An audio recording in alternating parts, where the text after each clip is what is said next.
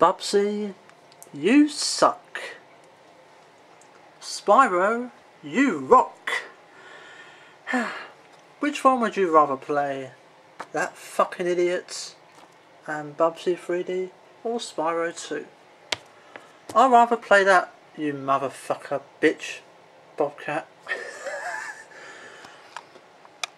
yeah, I just want to show you, you know, well, yeah, this is, you know, magazine.